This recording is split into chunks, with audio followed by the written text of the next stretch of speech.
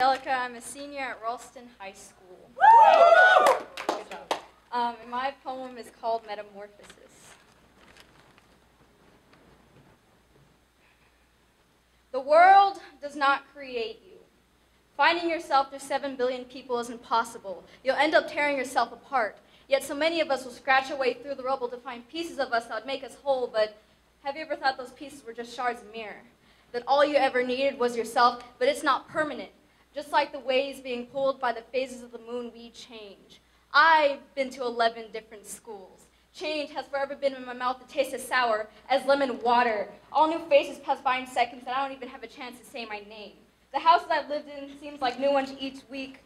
Toys being packed away as fast as tape, wasted eviction. What a big word for a little girl to know. I closed my eyes in hopes this bus would stop, in hopes times would stop. Growing up, we experience change, forming curves like curses. Were they curses? Change sounds like some lady explaining to us how women's bodies work. I didn't understand then. I didn't understand when I couldn't leave the house due to, due to my feminine genes. I was prone to pregnancy. Change is what I saw when my mom bought me my first bra. When I first noticed the stress, I was scared to face this change.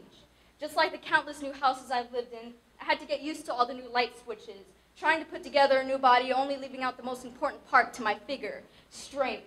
I remember being in that classroom while she explained to us that we were going to bleed for a week straight. I didn't understand when they warned us about being pregnant, and a woman's hormones are hard to control. Hard to control. Are they hard to control? Growing into a new body is like moving into a new home, new open doors, a new world through new eyes. I had to get just like the new doorknobs on the cabinets, I had to get used to all the catcalls now that I got feminine hips. As a kid hearing about periods, I didn't think I'd grow up being a testing statistic in a society where one in four women could possibly get rapes. No, it's not a curse, no. Your looks are not an observation, I'm not a science experiment, no.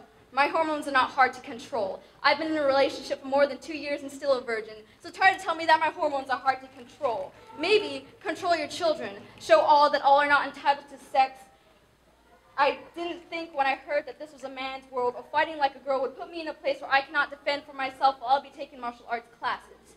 Change is what I needed to understand why self-confidence was so important. Change is what I want so I could look pretty without somebody trying to get my number.